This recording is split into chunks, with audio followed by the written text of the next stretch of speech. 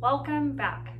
Today we're going to start talking about a different area of our body, specifically our rib cage. We hear a lot about rib pain and normally when we think about ribs is when we hear the term or my rib is out or my rib got dislocated.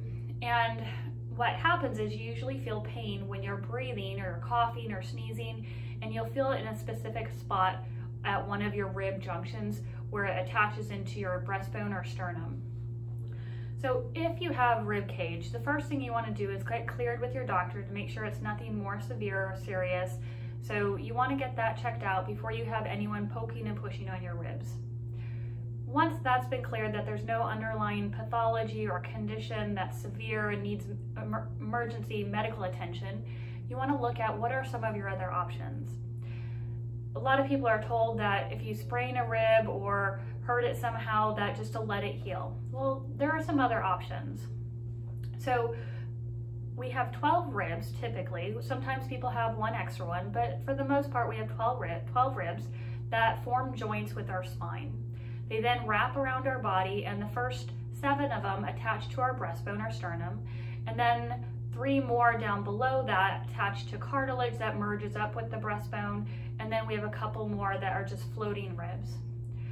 So the ribs are held into position not just by the joints and the cartilage, but by the muscles that are connecting the ribs to each other, called your intercostal muscles. A lot of time, those muscles can be tensed and toned up just like any other part of your body or muscle in your body. So when you think about those knots in your in your upper shoulders, your upper traps, or your low back is tight, well, guess what? That can happen in your rib muscles too. So a lot of times when I work with someone, I'll see how prominent their breastbone is. And I'll see, can they drop it in? Can it move? And is there movement within the individual ribs? A lot of times, because the muscles have learned how to guard and hold tight, they don't know how to relax, and so it makes your rib mobility that much worse. So when I talk to people and say, can you drop your, your sternum or breastbone in?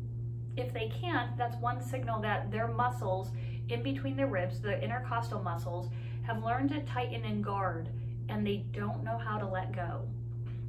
This can happen over time. So when we have stressors in our daily life, whether it's work or financial, relationships, family, emotional or mental stresses, or even physical stresses, it kicks us into that fight or flight mode and our muscles tighten up. Over time, if we don't know how to let that go, the muscles stay tight and they learn to stay tight. And so then we lose the rib mobility and then we lose the ability to move and twist our trunk. It's not just our spine that helps us be able to bend and twist, but our ribs need to be able to move as well.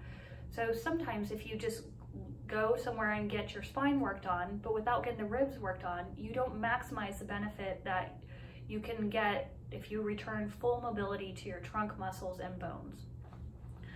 So what I suggest with people is also looking at your rib position. We've talked a lot about getting the ribs down and in position. That can help get the ribs back to where they need to be, plus learning how to relax the muscles in between the ribs can help you correct some of those areas that feel tender or painful when you breathe. Just recently, I had a client who had pain in one of her ribs. All we did with her was help her relax and exhale in a different way and help her sense the muscles letting go. And guess what? Her pain went away. And she had been told that she couldn't lay on that side. She's had months and months of issues, but it was a matter of calming down her nervous system so the muscles let go, the bones can go back into position, and voila, she was done. So if you have questions about that or would like to learn more, please reach out to me, amy at pabrinstitute.com. I'd love to hear from you and keep learning and we'll see you next week. Thanks. Bye.